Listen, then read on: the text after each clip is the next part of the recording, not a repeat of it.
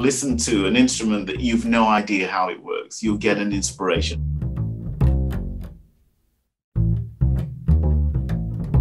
For a lot of sensitive and artistic people, I think it's, you know, it's brought up that question of what do we do and why do we do it?